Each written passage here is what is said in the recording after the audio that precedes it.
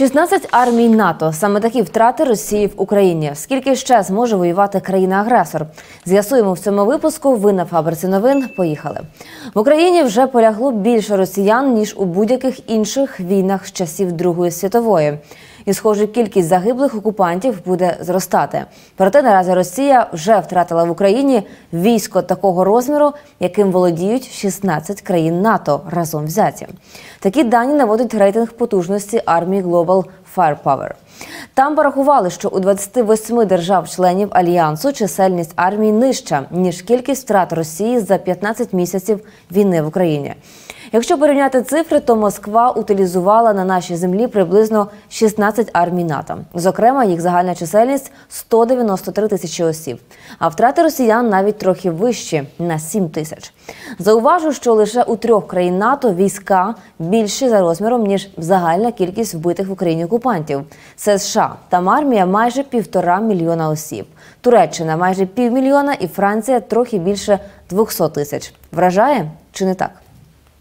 Тобто Путін відправив на загибель в Україні вже більше людей, ніж, наприклад, налічує армія Великої Британії, Німеччини, Італії, Польщі та багатьох інших країн-членів НАТО.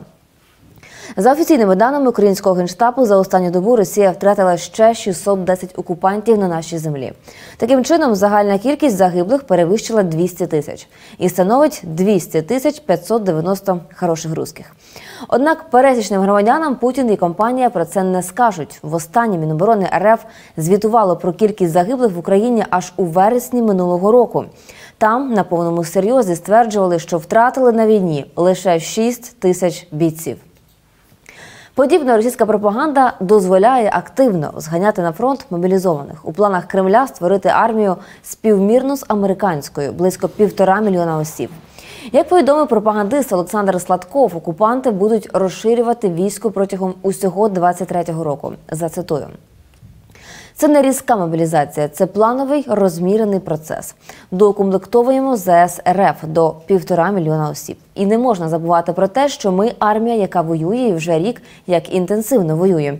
Є загиблі, поранені, пенсіонери, які вибувають із лав, і хворі. Тому робота з досягнення півтора мільйона військових буде непростою, але здійсненною. Кінець цитати.